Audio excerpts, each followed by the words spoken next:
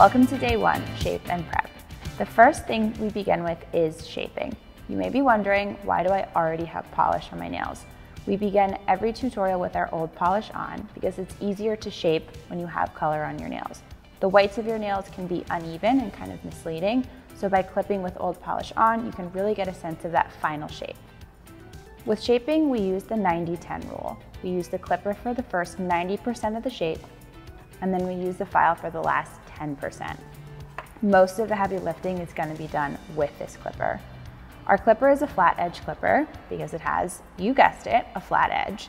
This makes it easy to clip into any shape you want. You won't be forced into a round shape like most of those clippers that have that semicircular tip. So go ahead and open up your clipper. When you're shaping your nails, it's always best to keep your hand as steady as possible. It's nice and even on a flat surface. And I like to clip into a round shape. It's great for beginners. It's nice and easy. And whenever you're shaping, remember, you can always clip more, but you can't put it back on, so go nice and slow. To create a round shape, create tiny little clips, working your way all around the tip of your nail, like so. And every once in a while, it's good to just check your perspective of your hand, make sure you're liking the way that you're shaping so far, Good to kind of come up for air every once in a while.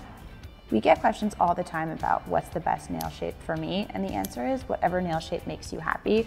There are no rules. You don't have to match the line at your cuticle to whatever shape makes you the happiest. If you're brand new to shaping, we always say just try to follow the natural shape, and then as you get more practice, you can try on different shapes like square or squoval or oval.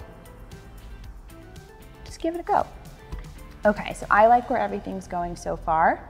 So now I'm gonna use the file for the last 10%. This is our nail file. It is a dual grit nail file. It's called dual grit because it has two grits.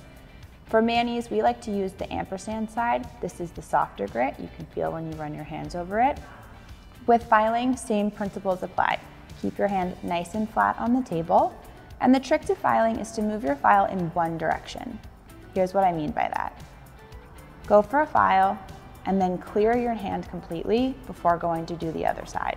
Basically what you don't want to do is saw your nails back and forth like this.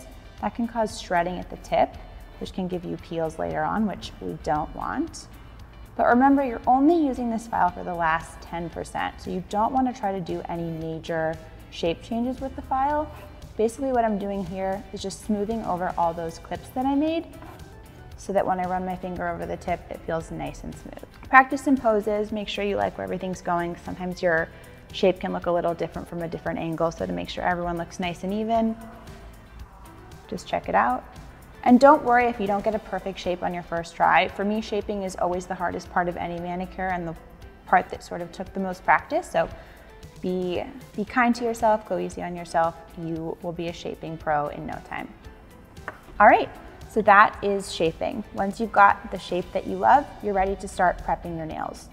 So now we come to our best friend, the nail polish remover pot. This is a acetone-free formula, which we love because it's super gentle on your nails, but it's still really, really effective and efficient at taking off your polish. Just dunk your finger into the sponge, swirl it around a couple times, and you can see your polish comes right off. You'll see we come back to this nail polish remover pot multiple times throughout the step of the mani, so this really is your best friend. Fun fact about this remover pot too is it has a little sponge in the cap. That's super helpful for taking off pedis, so you can take off any polish on your toes without messing up your nails. Okay, now we're ready to work on our cuticles. You may notice that in any of our systems, we never include a cuticle nipper, and that's because we never recommend that you clip your own cuticles at home. Here is our cuticle method.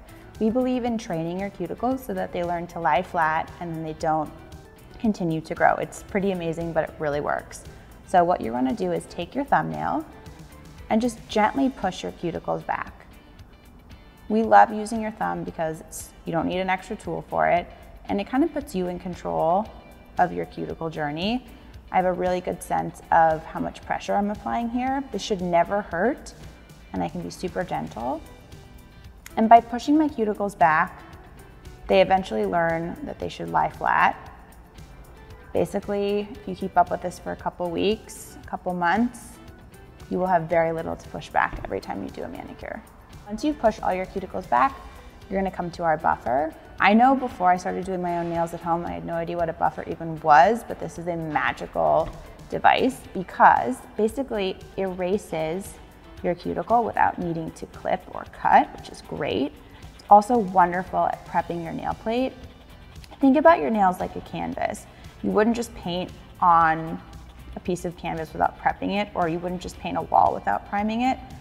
So I like to take the corner of the buffer, position it at the base of the nail, right where all that dead skin has kind of piled up from where I pushed it back. And I basically use this as an eraser and it just disappears. Again, be super gentle here. You never want to over buff and it should never hurt. Once you've buffed away your cuticles, I like to do a quick once over with the buffer all over the surface of my nail plate. If you have some light ridges, you can use the buffer to kind of smooth everything over, but never try to eliminate ridges completely. That can thin out your nails too much. Just a gentle buff is all you need. If you have any peels, especially they can happen at the tip of your nails, position your hand in a downward angle like this and buff down to smooth the peel away. You never want to buff it up to reveal it more.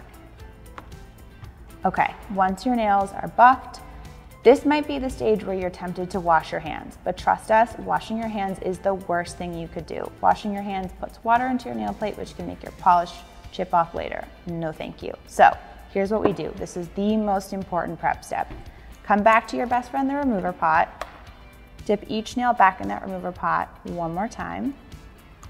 This eliminates any of that lingering dust, any oil or moisture that's left behind, and really preps your nails for a perfect polish application. All right, my friends, that is day one shape and prep done. Congratulations. We'll see you back for day two.